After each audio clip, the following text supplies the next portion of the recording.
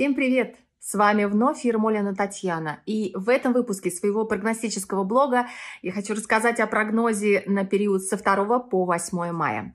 Мы поговорим о точно затменной неделе, потому что эта неделя, она по большому счету находится под влиянием затмения, которое уже произошло. Это солнечное затмение э, в конце апреля.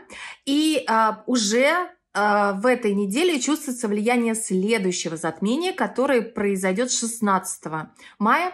Это лунное затмение в Скорпионе.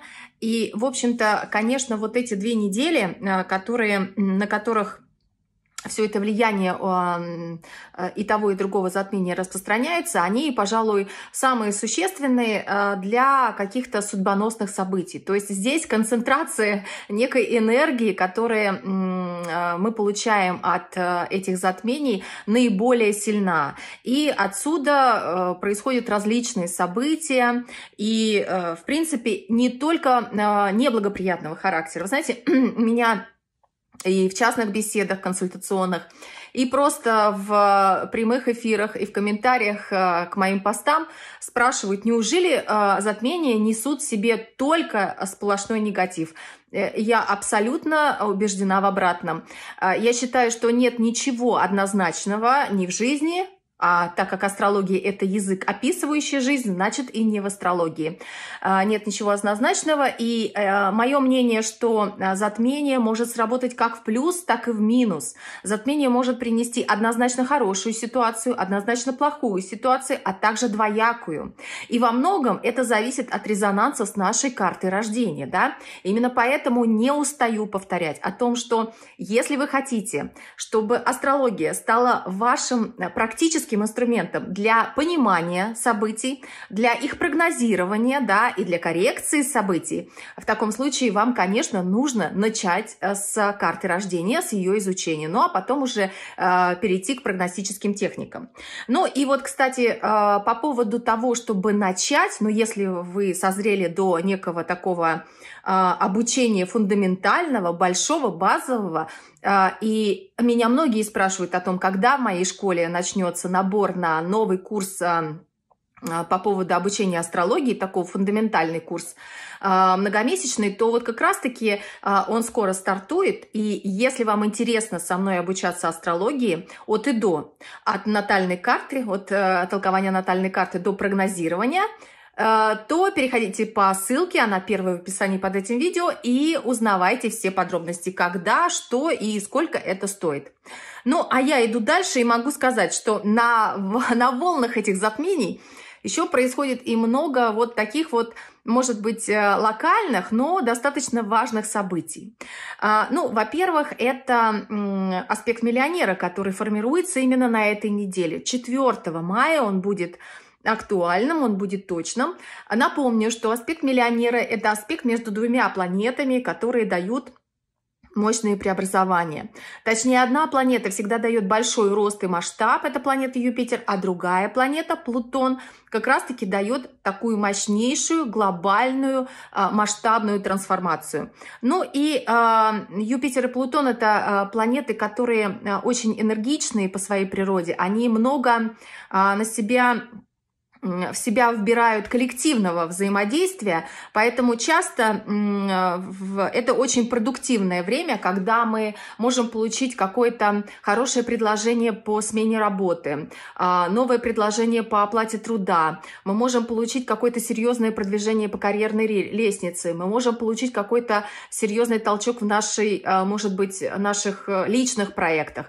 То есть а, все, безусловно, опять-таки упирается в то, как аспект между Юпитером и Плутоном, этот аспект миллионера, а, он взаимодействует с вашей картой рождения, но если там взаимодействие есть, а предположим, если вы, например, самый поздний Козерог, Телец, Скорпион, Овен, нет, Овен нет, э, пожалуй, Рак, кто еще? дева, да, то у вас явное взаимодействие есть. Если вы прям в самых последних числах а, этих знаков родились, пока Солнце еще не вышло за пределы э, этих знаков, а, то тогда у вас, конечно, могут быть очень яркие события. Но, в принципе, они сейчас показаны для всех. Все зависит от того, Если вы смотрели мой майский прогноз, я думаю, вы знаете мое ощущение, мое мнение по этому аспекту. А, э, сможем ли мы этот кусок пирога съесть? Да, потому что масштаб очень большой таких событий, которые приносят взаимодействие Юпитера-Плутона, а вот насколько мы можем этот кусок действительно проглотить, это зависит от нашей готовности. Так что вся неделя может быть посвящена вопросам карьеры, а, вопросам а, получения новых возможностей и создания новой стратегии для того, чтобы эти возможности а, освоить. Но помимо этого, здесь есть явный э, признак того, что личная жизнь может выйти на первый план у многих из нас. Венера э, в самом э, начале этой недели, понедельник, Венера переходит знак Овна.